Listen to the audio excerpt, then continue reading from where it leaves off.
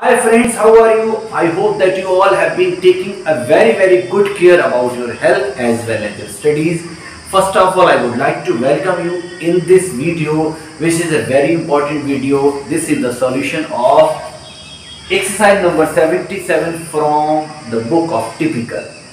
ये है सिंटेक्स की एक्सरसाइज जो सबसे इंपॉर्टेंट टॉपिक है फ्रेंड्स ना सिर्फ़ उन स्टूडेंट्स के लिए जो एकेडमिक एजुकेशन के हैं, जो फ़र्स्ट ईयर में पढ़ रहे हैं ट्वेल्थ में पढ़ रहे हैं यूपी बोर्ड के हैं सीबीएसई बोर्ड के हैं आईसीएसई बोर्ड के हैं, लेकिन ये उससे भी कहीं ज़्यादा इम्पोर्टेंट उन स्टूडेंट्स के लिए है जो प्रिपरेशन कर रहे हैं UP TET C TET super TET banking services या किसी भी कॉम्पिटिशन की, जिसमें इंग्लिश एक सब्जेक्ट है।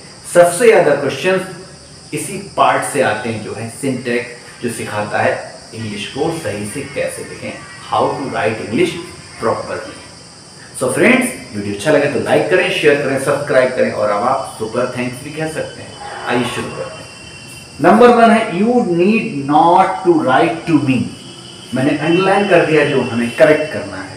तो ये इन्फिनेटिव है, इसके लिए एक रूल मैंने ऑलरेडी आपके लिए लिख दिया है। There need bid feel behold hear know अगर ये वर्क यूज़ हो रहे हैं तो ध्यान दें, इनमें कभी भी इंफिनेटिव का प्रयोग नहीं करेंगे। तो हम टू को हटा देंगे। Number two I had rather to play than work मैंने यहाँ भी आपको की लिख है। Had better had rather would rather या फिर ऐसा और भी कुछ हो सकता है। वहाँ भी हम इंफिनेटिव का प्रयोग नहीं करेंगे तो हम क्या लिखेंगे?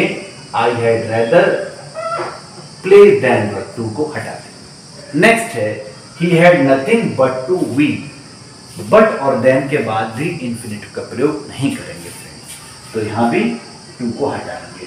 He had nothing but V next है Usha did everything except to accompany me यहाँ भी कंडीशन वही है टू को हटाना है तो हो जाएगा Usha did everything except accompany me last बड़ा इंटरेस्टिंग नेक्स्ट बड़ा इंटरेस्टिंग है. My father like to have gone to Agra to have का यूज़ कहाँ करेंगे? मैंने यहाँ पे लिखा है टू हैव का यूज़ तब करेंगे जब हम इस सेंटेंस में किसी पुरानी बात का ज़िक्र कर रहे हैं. क्योंकि हैव का मतलब होता है परफेक्शन यानी कि जो बात हो चुकी है। यहाँ पर प्रेजेंट है कि वो आगरा जाना चाहता है तो सीधे सीधे लिखेंगे my father likes to go to Agra है ना इंटरेस्टिंग नंबर सिक्स है she wants to immediately go to Ram इसमें ध्यान देंगे कि जो इन्फिनेटिव वर्ब है वो गो है तो इन्फिनेटिव का यूज़ भी उससे ही पहले होना चाहिए।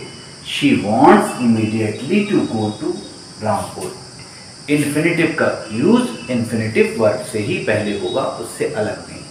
नेक्स्ट है Columbus is consider to discover America Columbus ने अमेरिका की खोज की, ऐसा माना जाता है। तो ये पुरानी बात है, इसलिए यहाँ पर टू हैव का यूज़ करेंगे और थर्ड फॉर्म तो Columbus is considered to have discovered America ऐसा माना जाता है कोलंबस ने अमेरिका की खोज काफ़ी पहले की।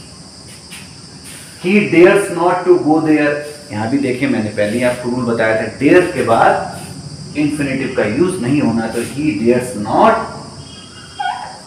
go there next है this is the time for writing यहाँ पे इंफिनेटिव का यूज़ करेंगे। So this is the time to write next भी ऐसा ही। है गिव मी सम वाटर मुझे कुछ पानी दीजिए फॉर ड्रिंकिंग पीने को। यानी कि यहाँ भी इंफिनेटिव का यूज़ होगा। तो यहाँ भी हम लगाएँगे। टू ड्रिंक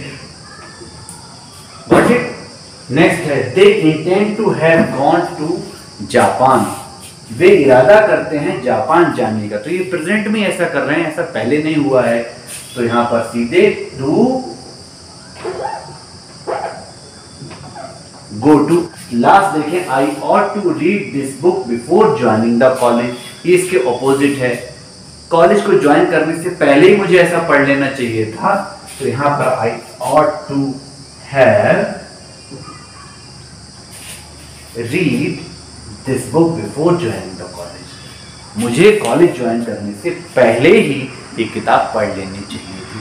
तो यहाँ पर इंफिनेटिव के साथ हम हैव का यूज़ करेंगे और थर्ड फॉर्म जो कि सेम है। Read red and read okay